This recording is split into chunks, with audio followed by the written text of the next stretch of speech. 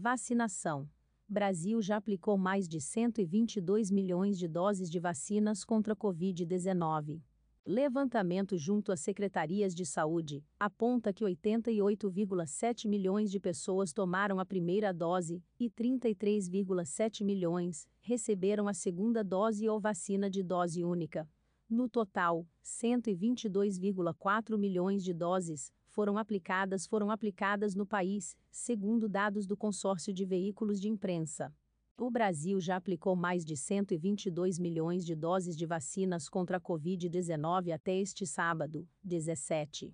A população totalmente imunizada contra a Covid no país, aqueles que tomaram a segunda dose ou a dose única de vacinas contra a doença, chegou a 15,93%. O balanço da vacinação deste sábado aponta que 88.707.871 pessoas já receberam a primeira dose de vacina contra a Covid-19, segundo dados divulgados até às 20 horas. O número representa 41,89% da população brasileira. Os dados são do consórcio de veículos de imprensa e foram divulgados às 20 horas deste sábado, 17.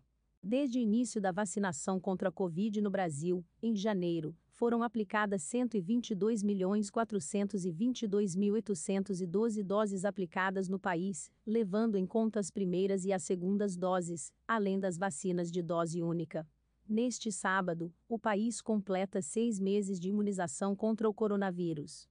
De ontem para hoje, a primeira dose foi aplicada em 671.588 pessoas, a segunda em 357.816 e a dose única em 77.994, um total de 1.107.368 doses aplicadas desde o último levantamento.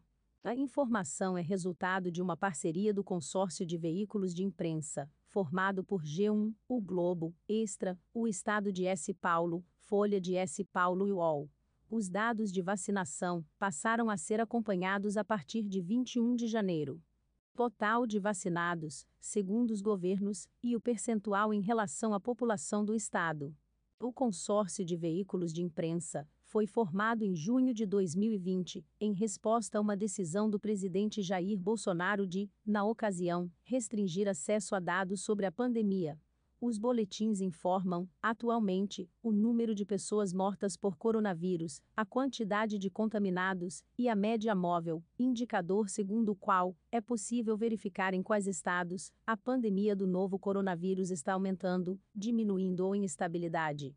Se inscreva para acompanhar a cobertura completa dessa notícia e de muitas outras.